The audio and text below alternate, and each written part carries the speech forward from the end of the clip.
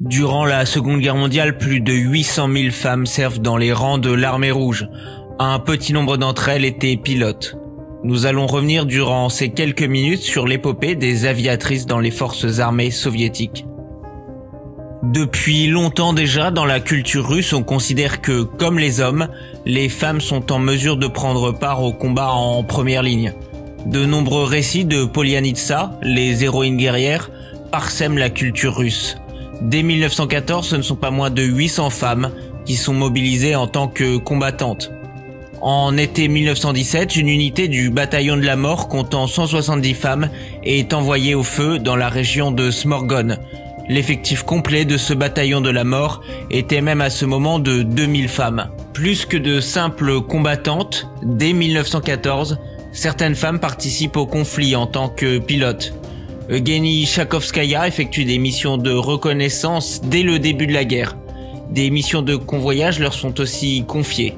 Certaines comme Sophie Dolgorukaya sont aussi pilotes d'essai. Après la révolution d'octobre, les femmes continuent à arpenter les premières lignes dans des rôles similaires à ceux des hommes. Natalia Bervi devient ainsi la première femme pilote de l'armée rouge et elle participera à la guerre civile. Les récits de ces femmes pilotes sont fortement utilisés dans des affiches de propagande, montrant que les femmes aussi peuvent être prêtes à défendre la patrie. En 1927, l'organisation de la jeunesse communiste s'appuie sur l'Osoaviakim, l'association pour le développement de l'aviation et de la chimie, une structure paramilitaire pour ouvrir l'inscription aux aéroclubs aux filles dès l'âge de 17 ans. Certaines deviennent monitrices de vol, D'autres arrivent même à obtenir une place au sein de la compagnie Aeroflot, à l'image de Serafima Tarasovna en 1936. D'autres encore suivent même une formation militaire. Ce sera le cas en 1923 de Zinaida Kokorina, devenant ainsi la première femme pilote admise au sein d'une école d'aviation de l'armée rouge. De son côté, Valentina Grisodubova, après avoir elle aussi suivi une formation militaire, ne cesse de battre des records d'altitude, de plus longs vols sans escale, accompagnée de Marina Raskova et Tekaetera. Les 24 et 25 septembre 1938, Marina Raskova et Valentina Grisodubova sont rejointes par Polina Osipenko. Elles battent ensemble le record du plus long vol en ligne droite sans escale, en parcourant les 6450 km séparant Moscou de Komsomolsk en 26 heures. Un exploit qui sera allègrement relayé par le régime et qui servira à montrer à l'opinion que les femmes ont autant d'aptitude au pilotage que les hommes. Avançons légèrement dans le temps jusqu'au début de l'opération Barbarossa. Même si en Union soviétique les femmes sont bien plus présentes dans les effectifs de l'armée qu'en Occident, le 22 juin 1941, au déclenchement de l'opération Barbarossa et de l'invasion de l'URSS par les Allemands, elles ne représentent que 0,7% de l'effectif total. Contrairement à ce que pourrait laisser penser la propagande, l'armée rouge est en réalité peu préparée à intégrer les femmes et le commandement préfère souvent les décourager d'être volontaires pour un service actif et les oriente plutôt vers des missions logistiques. Quelques femmes cependant servent dans les effectifs de la VVS, les forces aériennes soviétiques, à l'image de Katerina Ivanovna. Celles qui dans les années 30 ont participé au programme pour apprendre le pilotage sont plutôt maintenues en forme en prévision d'un conflit. Même si au début de la Grande Guerre patriotique, la VVS a plus besoin d'avions que de pilotes, Marina Raskova, membre du comité de défense du peuple, approche Staline pour lui proposer la création d'une unité aérienne entièrement féminine. Dès le 8 octobre 1941, il donne son accord et c'est ainsi que naît le 122e groupe aérien. Maintenant, il faut garnir les effectifs de ce groupe. La seule condition pour rentrer comme pilote au sein de l'unité est d'avoir à son actif 500 heures de vol au moins, Cependant, d'autres postes sont aussi logiquement ouverts. Maintenance, logistique, radio, etc. Marina Raskova, bien connu grâce à son vol avec Valentina Grisodubova et Polina Osipenko, arrive à attirer plusieurs milliers de volontaires qu'elle recevra une à une à Moscou pour faire une sélection. Les recrues sont envoyées à Engels pour l'entraînement. Là-bas, elles se heurtent à une grande impréparation. Les uniformes sont tous taillés pour les hommes, il faut les raccourcir. Les bottes sont trop grandes et on y enfonce des exemplaires de la Pravda pour les ajuster. À cela s'ajoute le manque de suivi médical adapté et l'entraînement que Marina Raskova a espéré voir durer 18 mois mais qui passe à seulement 6 mois.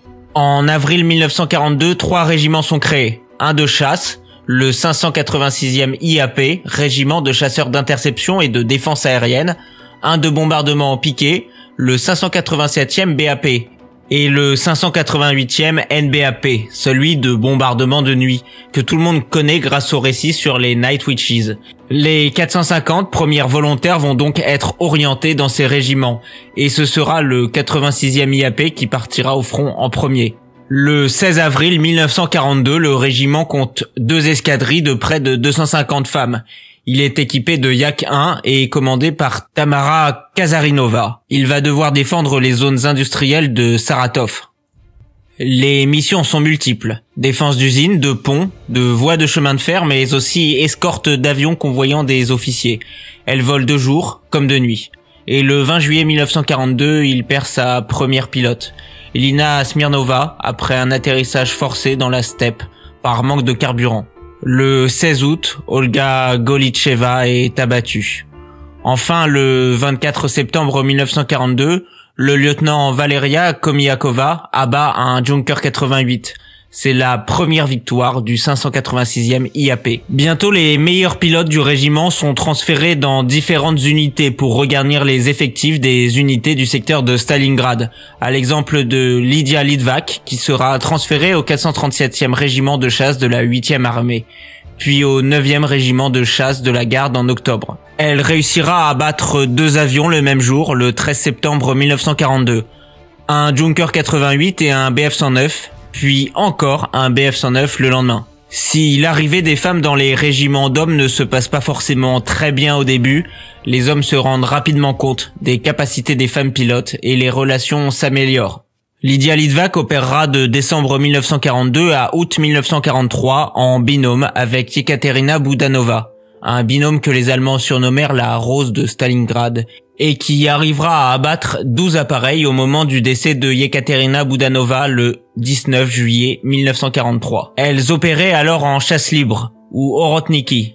Lydia Litvak peignait à chaque victoire une rose blanche sur son avion, et c'est de là que vient le surnom de ce binôme. Lydia Litvak disparaît, elle, le 1er août 1943.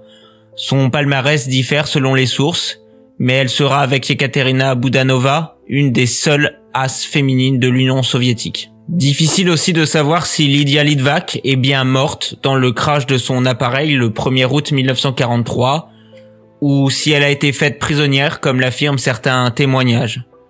Alors qu'une partie des femmes du 586e IAP ont servi dans des unités masculines, le 586e IAP lui-même a évolué et est devenu durant l'automne 1942 une unité mixte avec l'apparition d'une escadrille masculine.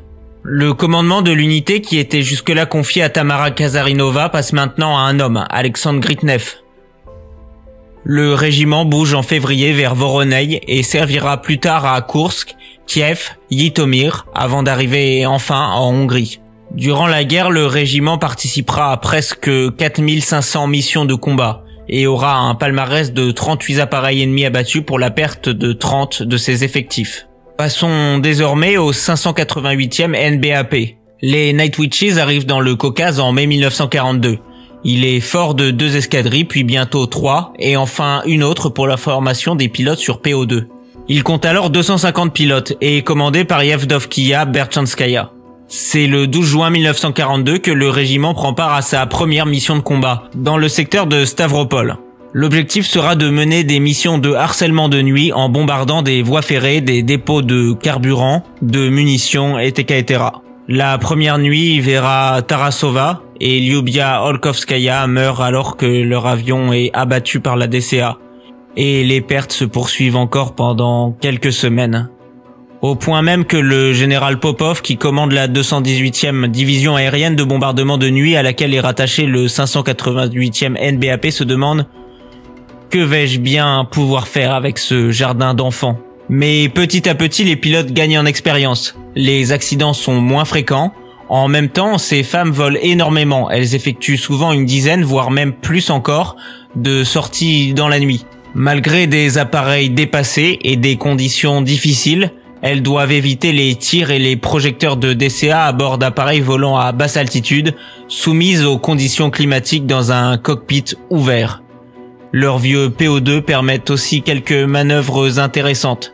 La vitesse et la maniabilité de ces avions les rendent difficiles à abattre en combat circulaire par des avions allemands qui décrochent déjà à ces vitesses et sont moins maniables. Elles développent aussi une technique d'approche furtive pour les bombardements de nuit. Alors qu'elles arrivent sur l'objectif en rasemote, elles prennent rapidement de l'altitude, coupent le moteur, puis foncent sur la cible en planant, sans un bruit. Une fois les bombes larguées, elles redémarrent le moteur et rentrent à la base. Plus tard, après la bataille du Caucase, les sorcières de la nuit rejoignent Kuban en janvier 1943. Là, les pertes sont sévères. Dans la nuit du 31 juillet 1943, elles atteignent leur paroxysme. Quatre PO2 sont abattus par des chasseurs de nuit. Il est décidé qu'un régiment de chasse viendra désormais protéger les PO2. Le régiment se comporte très bien en octobre 1943 au-dessus de Taman, au point d'avoir l'honneur de devenir le 46e régiment de bombardement de nuit de la garde Taman, preuve de leur efficacité. Ensuite, les femmes du régiment combattront à Minsk, puis en Pologne, en Prusse, et enfin elles participeront à l'offensive Vistule-Oder. La place du 588e NBAP dans la culture populaire s'explique par le palmarès de l'unité. Elles effectueront 24 000 sorties, largueront plus de 3000 tonnes de bombes et recevront quelques-unes des plus hautes distinctions militaires soviétiques. L'ordre de Suvorov de troisième classe et l'ordre du drapeau rouge, sans parler des 24 pilotes qui recevront aussi le titre de héros de l'Union soviétique. Sur les 261 femmes ayant servi dans le régiment, 32 perdent la vie au combat ou dans des crashs. Passons maintenant au 587e BAP. Le dernier régiment à prendre les armes est donc le 587e régiment de bombardement en piqué. Marina Raskova, commandant le régiment, tenait absolument à ce que le régiment soit doté des nouveaux PE2 pour les missions de bombardement, expliquant ainsi cette arrivée au front plus tardive. Des hommes arrivent aussi dans le régiment afin de servir comme mitrailleurs sur les PE2, une tâche qui s'avère particulièrement pénible physiquement. Le 4 janvier 1943, Marina Raskova perd la vie pendant le crash de son PE2. C'est donc un homme, Valentin Markov, qui prendra le commandement du régiment. Le régiment participe à des missions dans le ciel de Stalingrad avant de rejoindre le Nord Caucase, puis plus tard, aux affrontements à Kursk et peu après la bataille en septembre 1943, l'unité a l'honneur de devenir le 125e régiment de bombardement de la garde. Le régiment ira ensuite à Smolensk, passera par la Baltique avant d'arriver et de terminer la guerre en Prusse orientale. Après 1134 missions, 980 tonnes de bombes larguées, 5 pilotes décorés de l'étoile d'or des héros de l'Union soviétique, l'unité reçoit l'ordre de Suvorov. Malgré un énorme sacrifice, jamais les femmes ayant combattu dans ces régiments ne recevront d'hommage à la hauteur de leurs engagements pour la patrie. Il faudra attendre la perestroïka pour que l'on parle à nouveau de cette épopée des femmes dans la VVS. N'oublions plus le courage de ces femmes pilotes, mécaniciennes, navigatrices, qui ont combattu dans les mêmes conditions que les hommes durant la Grande Guerre patriotique.